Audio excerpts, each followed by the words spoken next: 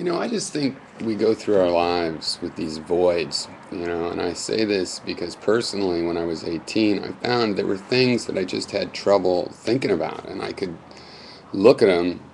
I mean, for example, I just hate forms. So, you know, there were forms I was supposed to fill out in college that would have helped me, or like I didn't fill out my taxes when I was poor. I needed the money. They were going to give me all my money back that I'd given them. And I just, uh, I hated it. I had a hang up about it. And so when I face things like this, I'm like, what's going on? I'm not, I know I'm intelligent enough to handle this thing. What's going on? And I found it was like a, a void there. I could look into what was going on in my mind there, but it, it was a weird kind of uh, feature filled darkness, you know, the void where it's really, there's stuff there, but to you it looks like a black and gray, you know, tempest because you're confused and you feel confused. And I see most people aren't even looking at these things.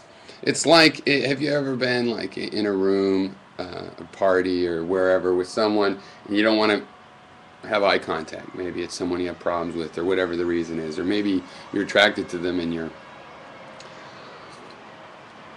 No, forget that one because then you'd be sneaking a glance. But uh, so you're trying to avoid their eye contact, and it's like wherever you go, it's like you swing around in ways such that you don't look in that direction that you think that they're in. And uh, this is what people are doing with their own mind. And often I'm I'm dealing with people, and I see how they're skirting a big circle of a void, and you just you just can't get them. It's like turn around, and, and instead of turn around, they'll walk around to the other side of the void. Then they're facing that way. I've turned around. It's like no, turn around again. I was just looking that way. No, there's something in between that you're moving around, you know, and they just avert their gaze, you know. That's the that's the technique, and um, you know, and I see these voids, but they're confusing to me, to them, you know. So what I see is just that it's there. It's it's not uh, there's not a solution in me figuring out what's going on because I find I still I think we all have these voids that are hard to look into that confuse you. I now in my life spend time looking and gazing into these um, uh, to these abysses, but um, but I haven't sorted them all or solved them all out. And so between my voids that I'm trying to peer into and their voids they are trying to avoid, um, it's very confusing dealing with people.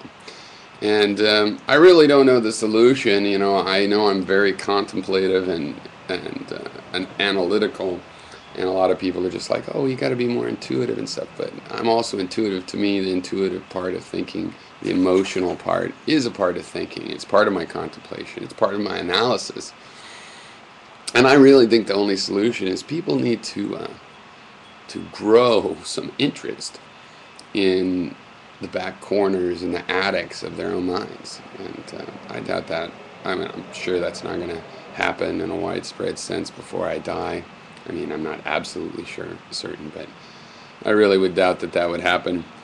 But um, over the generations, that's that's what we have to accomplish, uh, because then we can sort out which of our conflicts are unnecessary and which are unavoidable.